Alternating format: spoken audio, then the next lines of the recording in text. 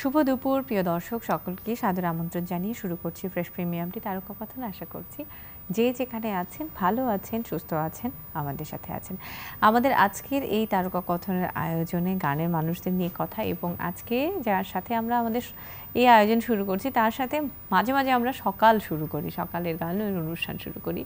তার সাথে গান, গল্প, এই সবটাই হয়। কিন্তু আজকে গানের কথা বেশি, এরপরে তারপরে একটু একটু করে হয়তো গানও আমরা শুনতে পারব। তার আগে পরিচয়ের আনুষ্ঠানিকতা।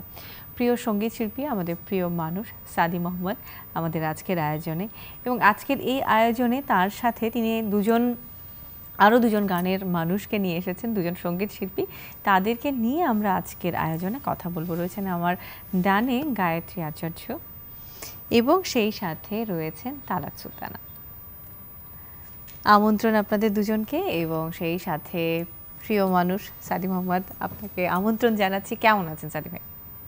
খুব ভালো তোমাকে দেখলে ভালো লাগে আপনি আসছেন যখন আমি জানতে পেরেছি তখনই আমরা খুব একটা আনন্দে আছি। কারণ আপনি থাকা মানে একটা আনন্দের একটা ব্যাপার থাকে সময় থাকে। আচ্ছা বিষয় যেটা সেটা হচ্ছে নতুন খবর নিয়ে এসেছেন আপনি আজ। হ্যাঁ। এই যে দুজনকে সাথে নিয়ে একটু আপনি একটু শুরুটা করিয়ে না এরপর ওনাদের কাছ থেকে একটু একটু শুনব। তারাত সুলতানা এবং গায়ত্রী আচার্য ওরা দুজনে আমার পরম স্নেহভাজন। এবং রোজা চৌধুরীর বন্যার ওরা ছাত্রী। মানে আমারই ছাত্রী মনে করো কারণ বন্যা আমি তো আমরা গুরু বোন। বন্যা আমার গুরু বোন। আমরা একই গুরু শিষ্য আমরা এক জায়গাতে গান শিখেছি একটা পরম্পরার মধ্যে আমরা আছি কিন্তু। আমাদের পরের পরম্পরায় কিন্তু ওরা চলছে। মানে রেল লাইনটা ঠিক আছে ওই পথটাও ঠিক আছে একটু বেঁকে যায়নি। সেভাবে ওরা গান গেয়েছে আমি গানগুলো শুনেছি ওদের। এখন সিডি আজকে দুটো ইমপ্রেস অডিও থেকে বের হচ্ছে।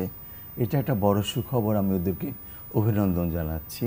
অবশ্যই। যে বিশাল একটা ব্যাপার তোমাদের জন্য আজকে। অবশ্যই কারণ এটা কি বলব আমি চ্যানেল আই যে এই ব্যাপারটাকে নিয়েছে দায়িত্ব ওদের সিডি বের করা এটা তো বিশাল ব্যাপার আমি মনে করি ওদের জন্য আর কি। ওরা তো নবীনা।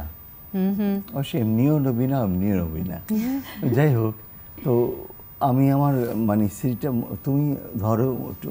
আমি আমি সিডি নিয়ে অবশ্যই এই মোড়ক উন্মোচনের ব্যাপারটা থাকবে মোড়ক উন্মোচনের কাজটা আমরা করব অবশ্যই। তার আগে একটু ওনাদের কাছ থেকে গানের কথা নিয়ে একটু জিজ্ঞেস করি কতদিন ধরে গান করছেন হ্যাঁ, হ্যাঁ, কীরকম কি? একটু শুনি। জি তালাত সুলতান আপনার কাছ থেকেই আগে আসি যে কতদিন ধরে গান করা কীভাবে গানের সাথে বা গান নিয়ে একটু কথা শুনি আপনার। আমি একদম ছোটবেলার থেকেই মানে পারিবারিক পরিবেশে গান ছিল। গান শুনেই বড় হয়েছি মা রবীন্দ্রসঙ্গীত গাইতেন। আর বাবা গাইতেন না কিন্তু সংগীত অনুরাগী।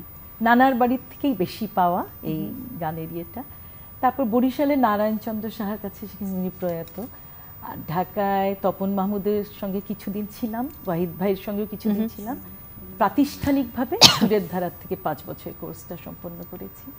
আর বন্যাদির সঙ্গেই আছি সুরের ধারার প্রাক্তনী হিসাবেও আছি।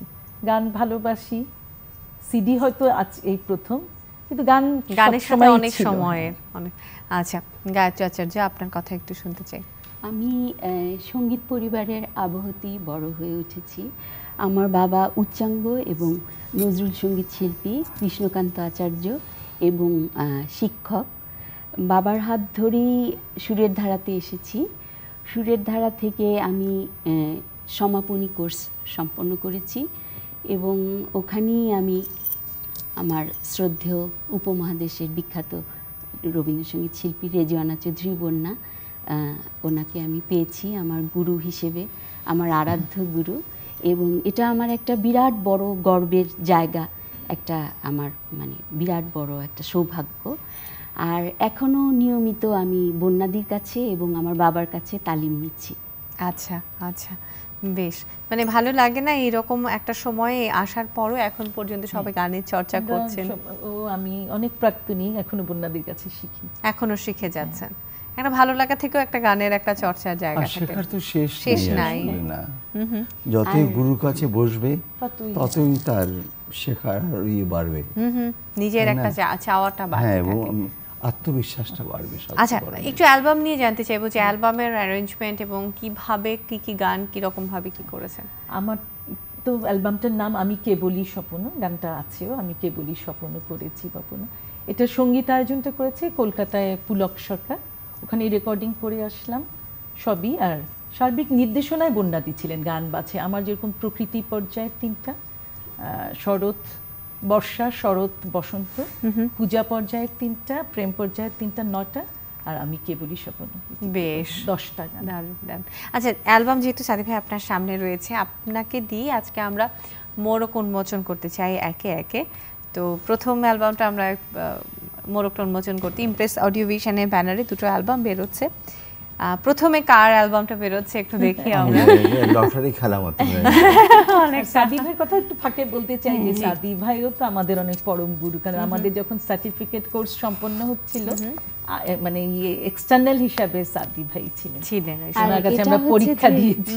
আর এটা আজকে আমাদের জন্য এটা বিরাট বড় সৌভাগ্য যে স্যারকে আজকে আমাদের মধ্যে পেয়েছি। আচ্ছা আচ্ছা এত বড় লাগবে না। এটা এটা খোলো পারছি না। আমার মানে এটা এটা এক টান দিয়ে খুলে ফেললেই হয়ে যাবে। তো তুমি করছ না কেন? আমার কাজ পর্যন্ত নেই বলে। দাও ওটা দাও করে দাও। অনেক স্কচ টেপ আচ্ছা আমি একটুখানি সাহায্য করছি। এটা একটা একটা গায়ত্রী, করে হ্যাঁ। আমি তো একটু এটা কার ভালোভাবে ছিললাম না। বাহ। এটি হচ্ছে এই কি লাবণ্য গায়ত্রী লাবণ্য পূর্ণ প্রাণে। খুব অনেক অভিনন্দন গায়ত্রী। আহ, গায়ত্রী আচার্য আপনাকে এবং খুব সুন্দর মানে কভারটা। খুব সুন্দর লেগেছে। একটু সে প্রসঙ্গে যদি বলে যে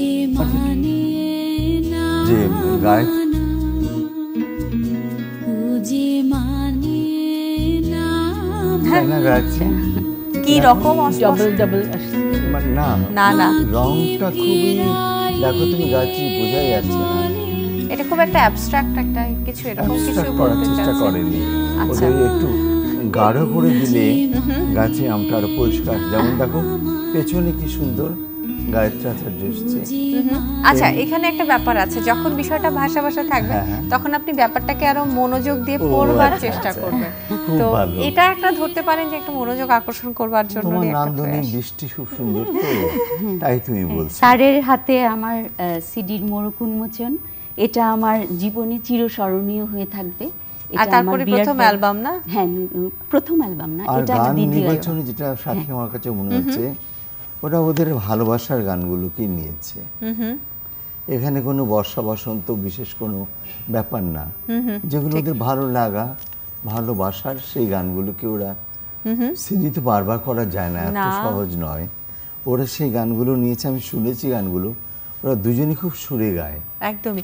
আচ্ছা এই আমার হাতে অ্যালবামটি রয়েছে এবং রবীন্দ্রসঙ্গীতের একই লাবণ্যে গায়ত্রী আচার্যের এবং এটি হচ্ছে ইমপ্রেস অডিও ভিশনের ব্যানারে আমাদের যারা শ্রোতারা রয়েছেন তারা দেখতে পাবেন খুব সুন্দর দশটি গান দিয়ে কিন্তু এই অ্যালবামটি করা হয়েছে। আপনাকে আবারও অভিনন্দন এবং শুভকামনা।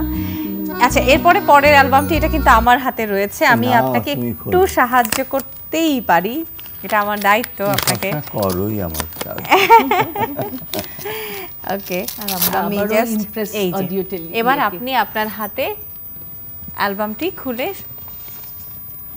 যেটাতে যেটার জন্য আসলে সবার একটা প্রত্যাশা। এই তো আমি কেবলই স্বপ্ন তালাত সুলতানা। খুব সুন্দর। ওর নির্বাচনগুলো সুন্দর। যে বন্যাদি সাহায্য করেছে। প্রকৃতি পূজা দুজনের নির্বাচন খুব ভালো খুব সুন্দর। আমরাও ইমপ্রেস অডিও টেলিভিশনকে আবারও ধন্যবাদ দিতে চাইছি। আমাদেরকে অনেক আমার পক্ষ থেকে ধন্যবাদ। আচ্ছা এখানে তারা এখানে দ্বীপ নিভে গেছে কিছু মানে বানানে একটু গোলমাল থাকে বুঝলে? দ্বীপটা না এখানে কি এটা সেন্ট মার্টিন যে দ্বীপ নাকি দ্বীপ হবে। সেটা বুঝতে পারছি না। দয় দ্বীপ তো নয় আসলে। আসলে তো হবে দ্বীপ প্রদীপ। প্রদীপ হ্যাঁ। হ্যাঁ। হ্যাঁ। এগুলো একটু খেয়াল করতে হবে ওকে সেটা আমরা দেখে নেব। আচ্ছা আমার এখানে যেটা ভালো লেগেছে হ্যাঁ। দুটো জায়গাতেই দুটো অ্যালবামেই সেটি হচ্ছে যে তারা তাপার অ্যালবাম এবং সেই সাথে গায়ত্রী আচার্য ওনারটাতেও দুটোতেই কিন্তু বন্যাদির একটা সুন্দর সুভাষিস রয়েছে। তো এই সুভাষিস এতখানি আসলে দর্শকের কাছে পড়ে বা দেখিয়ে বোঝানো সম্ভব নয়। এটার জন্য অ্যালবামটা আসলে আপনাদের সংগ্রহ করতে হবে সেটাই হচ্ছে সব থেকে বড় কথা। সো সেটা দেখে আর বাকিটা অনেক সুন্দর কিছু লেখা সুন্দর একটা পড়া। কিন্তু আমি জানতে চাই যে প্রথম যখন আপনার অ্যালবাম নিয়ে কাজ করার চিন্তা করলেন সেই সময় আপনাদের গুরু যারা রয়েছেন হ্যাঁ। তারা কি রকম ভাবে ব্যাপারটাকে দেখলেন বা বললেন? হ্যাঁ অনেক সহযোগিতা করেছেন। বন্যাদির অনুমতি নিয়ে বন্যাদির ইচ্ছাতেই হয়েছে। আমার বাবা আমাকে খুবই সহযোগিতা করেছেন।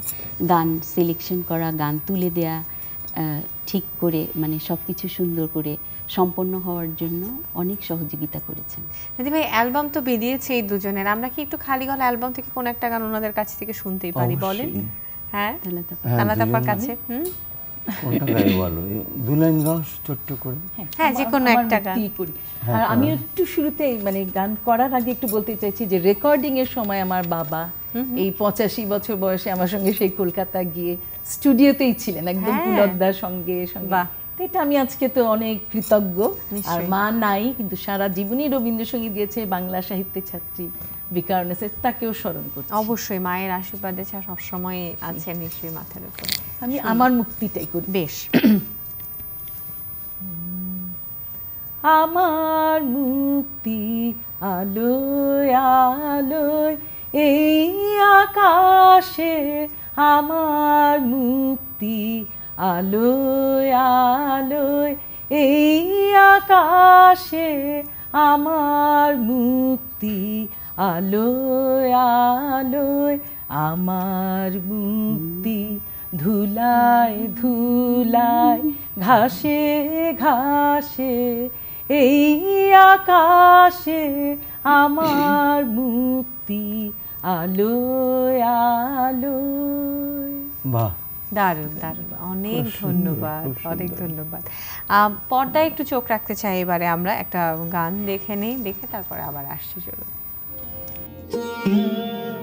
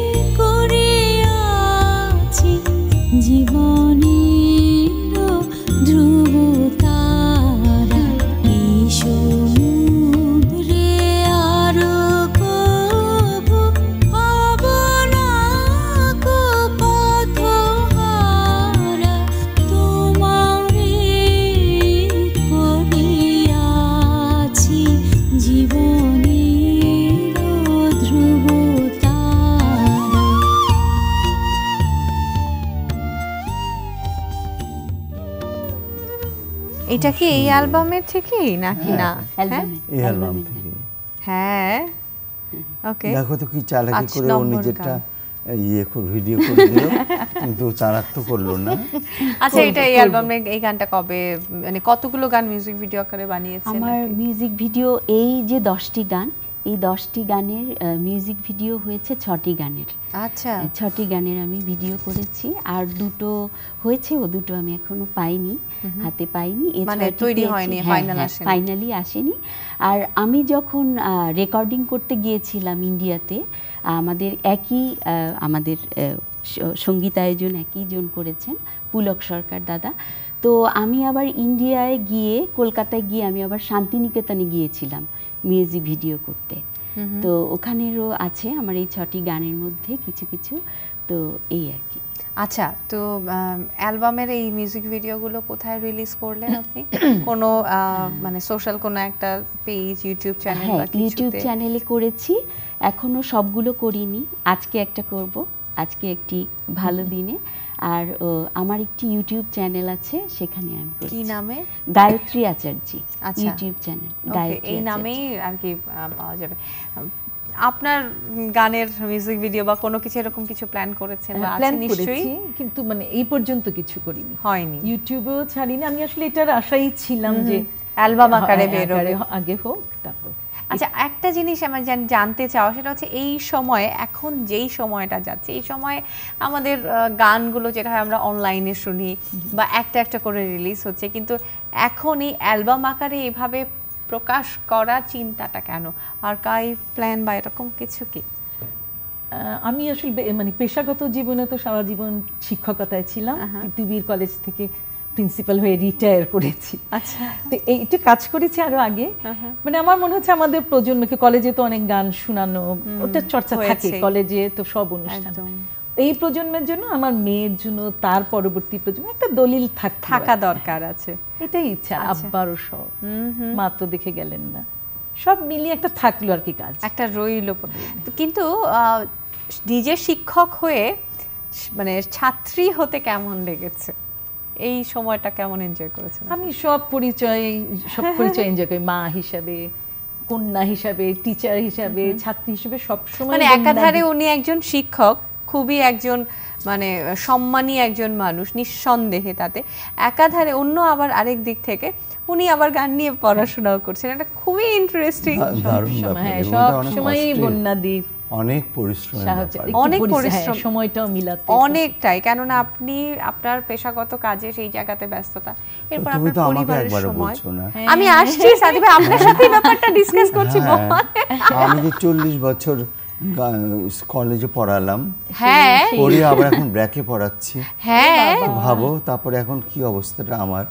সেটাই এর মাঝখানে কিন্তু কন্টিনিউ রবি রবির ছায়া চলছে রবি রাগ। রবি রাগ। রবি রাগের কাজ চলছে পড়ানো হচ্ছে নিজের গানের চর্চা হচ্ছে। ছাত্রছাত্রীরা ঠিকঠাক মতো গাইছে কিনা সেটা দেখছেন।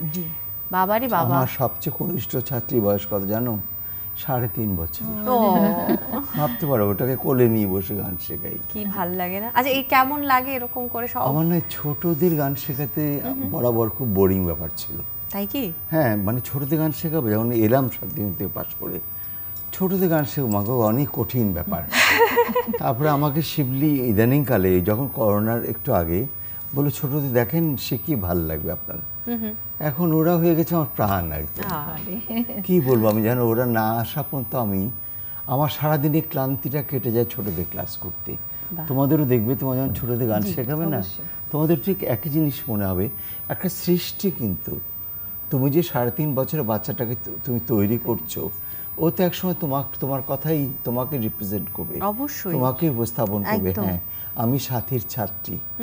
আমি হয়তো থাকব না কিন্তু ওরা আমাকে থেকে যাচ্ছে তো। ওরা থেকে যাচ্ছে। সেটা কিন্তু ওদের ব্যাপারও তাই। তাই, একটা সিডি বের করার ব্যাপারে কত রকম ওদের কত স্বাদ ছিল মনের মধ্যে। সেই স্বাদটা আজকে পূর্ণ হয়েছে। আমি বারবার ওদেরকে অভিনন্দিত করছি। বারবার তোমরা আরও সিডি করো আমি তোমাদের অনেক অনেক আশীর্বাদ করছি। হ্যাঁ, আমাদের জন্য স্মরণীয় হয়ে করো থাকবে আপনি এবং চুপচুপ করে পয়সা জমাও। পয়সা জমি জমি জমি দুটো দুটো করে গান করো। হ্যাঁ, তারপরে তাই না? এরপরে চারটা চারটা করে হ্যাঁ করে করে করবে। তারপরে একবারে জোড়া লাগিয়ে জোড়া লাগিয়ে সেটাই। তাই তো তাই না বলো সাথী? এখন সিডি বাজায় না কেউ? কি ইউ- কি যেন বলে? ইউটিউবে পেন ড্রাইভ আমি আমি জানি না এগুলো জানো? পেন ড্রাইভ আমি তো সেকেলে প্রাগৈতিহাসিক। আচ্ছা আমরা আমার মানে সাদি ভাইয়ের সাথে আসলে কথা বলার অভ্যাস খুব কম। সাদি ভাইয়ের কাছ থেকে গান শোনার অভ্যাসটা আমার আমার একটু বেশি। অন্যান্যদের থেকে আমার একটু বেশি কারণ সাদি ভাইয়ের সাথে আমি কথা বলে যতটুকু না অভ্যস্ত তার কাছ থেকে গান শুনে তার থেকে বেশি অভ্যস্ত। কিন্তু কথা শুনো তুমি খুব অভ্যস্ত। দাঁড়াও আমার আঁকিয়ে রাখে। তাই না? দাঁড়াও আমার আঁকিয়ে আমরা- এটা বিশাল ব্যাপার না। আচ্ছা আমি এর মাঝখানে আরও একটা খবর দর্শককে দিতে চাই সেটি হচ্ছে আগামী আঠারো তারিখে আমাদের প্রিয় সাদি মোহাম্মদের আমাদের সাদি ভাইয়ের একক সংগীত অনুষ্ঠান আয়োজিত হতে যাচ্ছে। ওটা ইয়ে, শিল্পকলা শিল্পকলা একাডেমি। একটু যদি সেই প্রসঙ্গে না বলেন। আমি না অনেক অনুষ্ঠান করতাম আগে মনে আছে আমার পঁচিশ বছর আগে। একক অনুষ্ঠান আমি খুবই করতাম তবে সবই ছিল সাহায্যের অনুষ্ঠান। আচ্ছা। কার দুটো বোন বোনের ভাল্ভ নেই বুকের। একটা ভাল্ভ নেই বলে মনে করো ওদের কোনো গ্রোথ হচ্ছে না। একজন সাংবাদিক মুক্তাদির ভাই আমার কাছে সে অনবরত কাঁদতে শুরু করল। আমি বলছি আমার তো কোনো জোর নেই আমার কণ্ঠের জোর আছে। আমি কণ্ঠ জোর দিয়ে আমি পারব। তখন আমি ঢাকা মিউজিয়ামে আমি জাদুঘরে অনুষ্ঠান করলাম। এই প্রথম এই বাচ্চা দুটোকে নিয়ে ওরা এখন বিয়ে করে টেরে বিয়ে থা হয়ে বাচ্চা কাচ্চা বড় হয়ে গেছে। ওরা আমাকে একজন থাকে রাজশাহীতে আমার জন্য আম পাঠায় রেগুলার। কি ভালো। মানে এই যে একটা আনন্দ ওরা যে বেঁচে আছে তারপরে হলো আমার এক ছাত্রের অ্যাক্সিডেন্টে হাতটা একদম ভেঙে গেল ডাক্তার হাতটা কেটে ফেলে দেবে। আমি এরকম তুমি কলকাতা যাও আমি কেটে ফেলতে দেবো না হাত। তুমি যেমন করে পারো ধরে রাখতে পারো আমি তখন তার জন্য গান গাইলাম। সারা মিলল লোকের যে কত কত সহানুভূতি মানুষের প্রতি মানুষের তখন বুঝলাম আমি যে হ্যাঁ খালি আমার গান ভালোবাসে বলে না। এই যে আমার ছাত্রের জন্য করছি এবং আমি লিখেছিলাম একটা কথা যে আপনারা যতক্ষণ গান শুনতে চাইবেন আমি ততক্ষণ গান শোনাবো। এই যে একটা কথাটা না ওদের এত মনে দাগ কেটেছে যে ওরা কিন্তু তেমনি গান গেয়েছে ওর টাকা পয়সা উঠেছে আমি তারপরে আমেরিকা যাব। হঠাৎ শুনি ওর হার্টের সমস্যা। সমস্যা এবং ওর হেপাটাইটিস সি হয়েছে। সিটা খুব আনকমন কিন্তু। সি হলে কেউ বাঁচে না সাধারণত। তখন ডাক্তাররা বলছে ওর অপারেশন টেবিলেও মারা যাবে। আমি যে না ওকে রাখুন। আমি আমেরিকাতে গিয়ে ওখানকার ডাক্তারের সাথে কথা বললাম। ওরা বলছে না মারা যাবে না প্রচুর ব্লিডিং হবে। আর আমি বিশ্বাস করবে সাথী ওর জন্য গান গাইলাম। গান গিয়ে ওর জন্য পুরো অপারেশনে যত খরচ সমস্ত তুললাম। এবং ওকে ওরকে ওকে অনেকটা টাকাও দিলাম যে এখন তুমি সে কেমন আছে? এখন সে গান শেখাচ্ছে দেদারসে। গান গাইছে সে দেদারসে মানে বলো এটা এটা এর চেয়ে বলো এইটাই আসলে একজনের একজন মানুষের জীবনে সব থেকে বড় প্রাপ্তি এবং স্বস্তির জায়গা স্যাটিসফ্যাকশনের জায়গাটা যে যদি বলি সামাজিক দায়বদ্ধতা বলে একটা শব্দ আছে একটা কথা আছে সেই কথাটা কিন্তু আসলে এইভাবেই কিন্তু পূরণ হয়। একজন সাদি মোহাম্মদ তিনি কোনো কিছু চিন্তা করেন কোনো কিছু ভাবেন সেটা অনেক বড় কিছু। কিন্তু একই সাথে সাথে একজন সাদি মোহাম্মদ তার কাছাকাছি বসে গান শুনতে পারা সেটাও অনেক বড় আনন্দ হ্যাঁ আমরা যেটা বিশ্বাস করি যেটা মানি যা করি তাই আসলে বলছে। আপনার প্রতি অনেক ভালোবাসা আমাদের। তুমি আমি হ্যাঁ? তুমি আমি মিলে। তুমি আমি মিলে। চলো করো। চলো চলুন। কিন্তু হ্যাঁ। তার আগে দর্শকের কাছ থেকে বিদায় নিতে হবে। কেননা একেবারেই শেষের দিকে চলে এসেছি। আপনাদের দুজনের জন্য অনেক শুভকামনা এবং খুব ভালো থাকবেন। আমাদেরও অনেক অনেক আন্তরিক কৃতজ্ঞতা। ধন্যবাদ। এরকম সুযোগ করে দেওয়ার জন্য। সঞ্চালনা করলেন এবং আমার খুব প্রিয় ভালো আপা। তালাত সুলতানা। আমরা একসাথে দর্শক হ্যাঁ। একেবারেই শেষের দিকে চলে এসেছি। আজের দিকে বিদায় নিচ্ছি। খুব ভালো থাকবেন। আমাদের সাথে থাকেন। গান শুনি হ্যাঁ। তোমার মোহন রূপে কে রায় ভুলে তোমার মোহন রূপে জানি না কি মারুন নাচে নাচে গো। ওই চরণ মূলে তোমার মোহন রূপে কে রায় ভুলে তোমার মোহন রূপে সরতালুর আসল টুটে কিসের ঝলক নেচে উঠে? সরতালুর আচল টুটে। কিসের ঝলক নেচে উঠে?